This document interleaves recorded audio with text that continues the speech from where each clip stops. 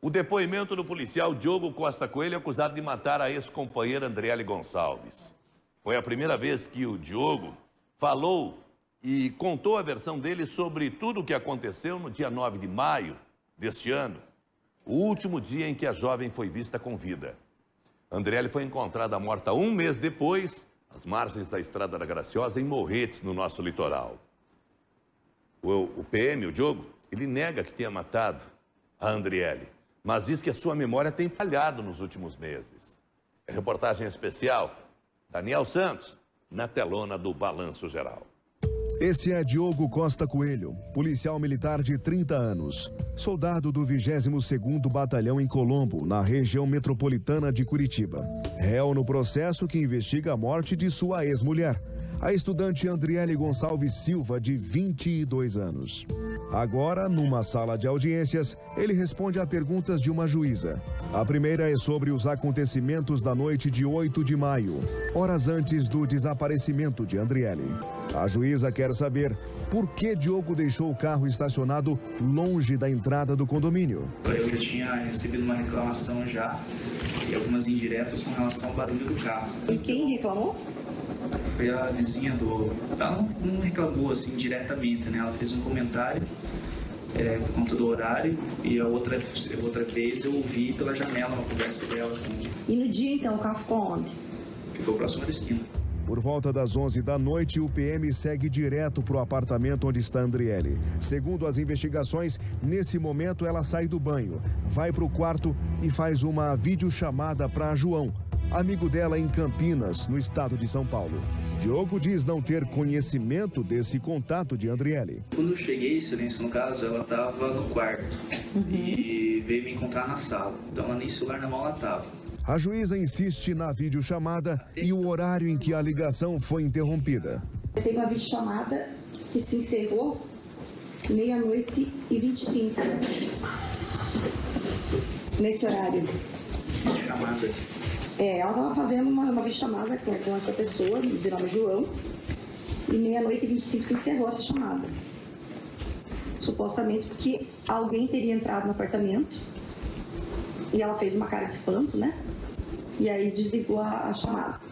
Foi a partir desse momento que vocês precisaram conversar, alguma coisa Isso assim? Isso é interessante, no caso, porque eu desconheço. Para mim é novidade.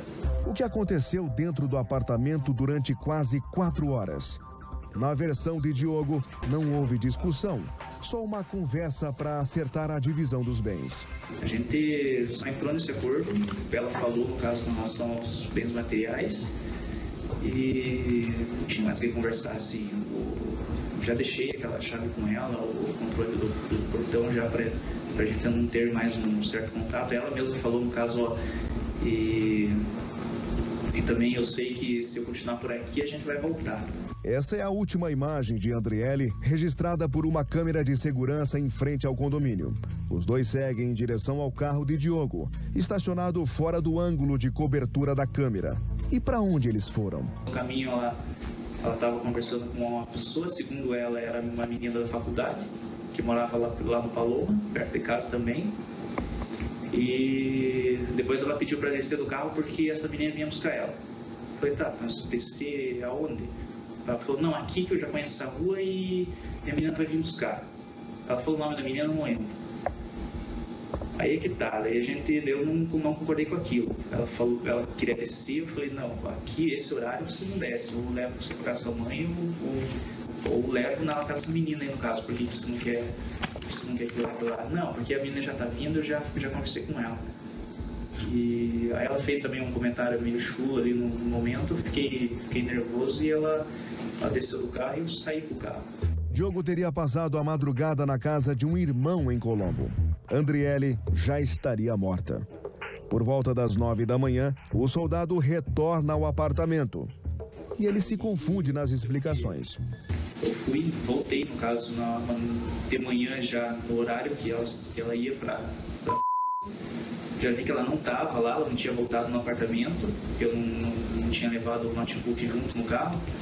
E aí nisso o gerente, por coincidência, mandou umas mensagens no caso, falando, ah, se você puder trazer os notebook, aqui. Eu falei, sim, eu trago, já, já vou ter que passar por aí mesmo. falou no horário que, que, que der para mim que eu levo. E. Não, isso foi no dia 10. Desculpa, foi no dia 10. No, só depois que no dia 9 eu trabalhei no caso normal. É, no dia 10 que ele fez o pedido, no caso do notebook. Dois dias depois do desaparecimento de Andriele, Diogo ainda apresentava marcas de arranhões no pescoço e rosto, segundo a fase de investigação. Ele também foi questionado sobre os ferimentos.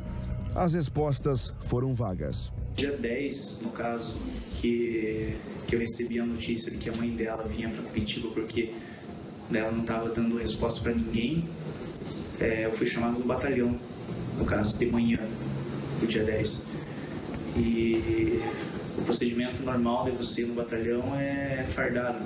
No caso, tem que ir como se estivesse pronto para serviço.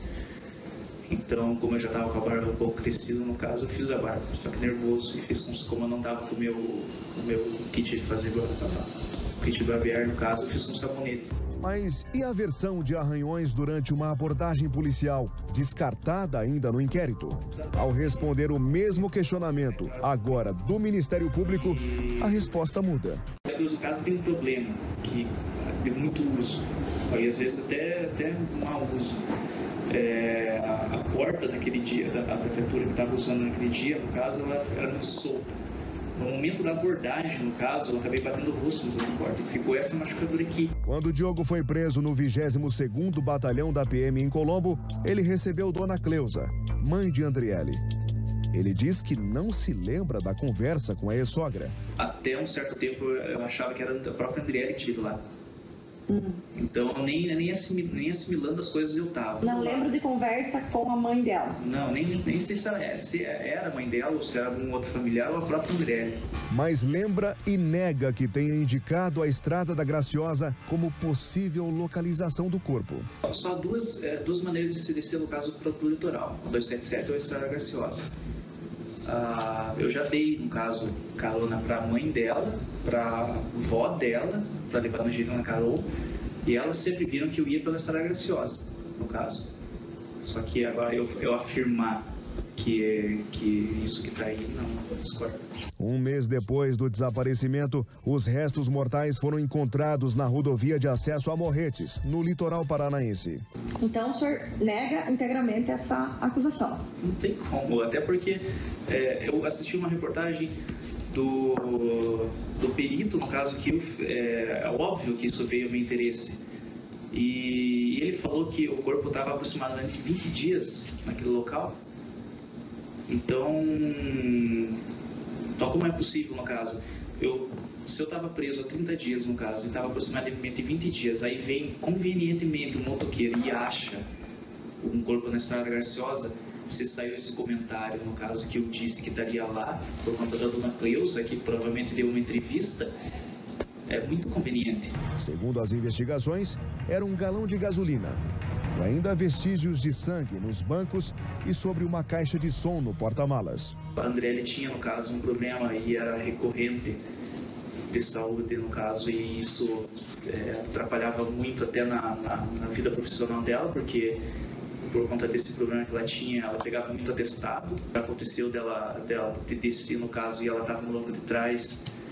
É, entre outras situações no caso. Inclusive, se for, se for passado um luminol lá em casa, vai parecer que eu escortejei alguém no caso, porque Parece que não tem, foi passado, não tem nada. Mas o, o problema dela era muito, muito chato, vamos dizer assim, porque ela, quando ela estava nesses dias, no caso, ela, ela tinha que tomar 3, 4 banhos por dia, por, até mais. Então ela estava incapacitada de trabalhar? Não bem ela É porque ninguém referiu dias, isso. É, ninguém referiu isso. As várias tentativas de extrair material genético, provar de quem era o sangue, não tiveram efeito. O laudo foi inconclusivo. Na maior parte do interrogatório, Diogo diz que sua memória tem falhado nos últimos meses além de, de, de, lapso temporal, que eu estou tendo bastante problema, teve familiares que eu não reconheci. Até depois do, do estado que eu fiquei, até no CMP, teve, teve uma. Minha mãe me questionou sobre um familiar meu e eu perguntei quem era. Que ele falou, mencionou pelo nome, no caso. Ele falou: Você não lembra do teu tio que mora em tal, tal, tal? Eu falei: Não. O soldado segue preso no complexo médico penal em Pinhais, na região metropolitana de Curitiba. Enquanto aguarda a decisão da Justiça sobre um possível julgamento popular no ano que vem.